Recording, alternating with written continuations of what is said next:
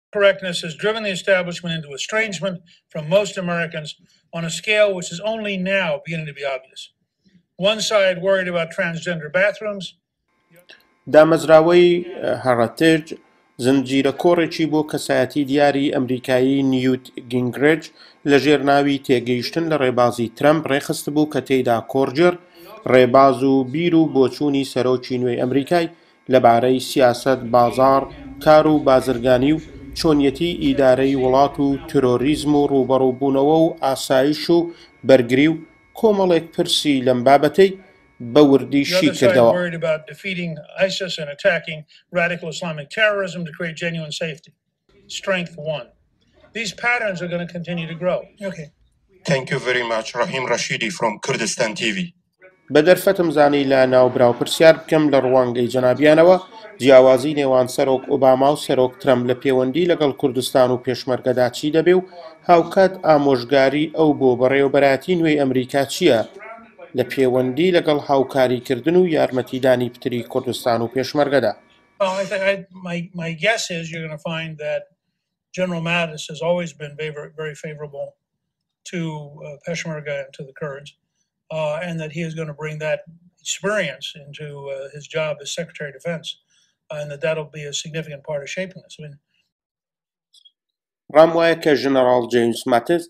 هەموو کاتێک بە باشی پشتیوانی لە کورد و پێشمەرگە کردووە و ئێستاش ئەو دەسەڵاتەی کە هەیەتی وەکو وەزیری بەرگری بۆ ئەو مەبەستە بەردەوام بەکاری دێنێت بۆ ئەمەش یاساکانی چۆنیەتی یارمەتی کردنی کورد و پێشمەرگە دادەڕێژێتەوە ئەمن پێشم وایە کە ترەمپ زۆر پتر لە ئۆباما پشتیوانی لە هاوپەیمانەکانی ئێمە دەکات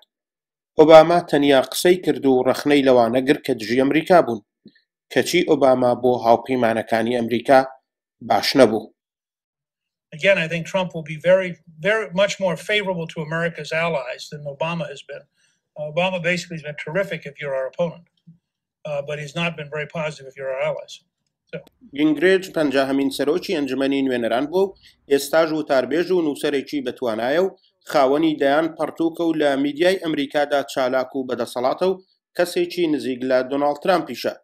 ناوبراو لەگەڵ پرسی کورد ئاشنایە و لە سیاستمەدارانی کوردستان نزیکە و بیر و بۆچوون و ڕوانگەکانی لەبارەی پرسە جۆربەجۆرەکانەوە لە نێوخۆ و دەرەوەی ئەمریکا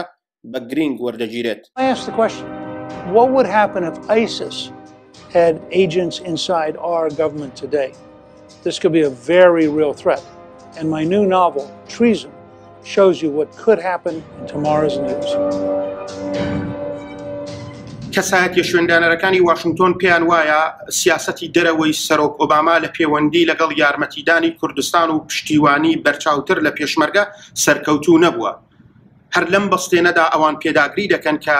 سەرۆک ترامپ و بەڕێوەبەرایەتیەکەی باشتر و بەرچاوتر یارمەتی بە کوردستان و هێزی پێشمەرگەی کوردستان دەکەن ماوەتەوە بزانین کە لە داهاتوودا ئەم پرۆسە بەرەو کوێ دەچێ و چلایەک لەم بەستێنەدا قسەیەکی ڕوونتر و بەرچاوتریان بۆ کوردستان پێ بووە ڕحیمی ڕەشیدی کوردستان تیوی واشنگتۆن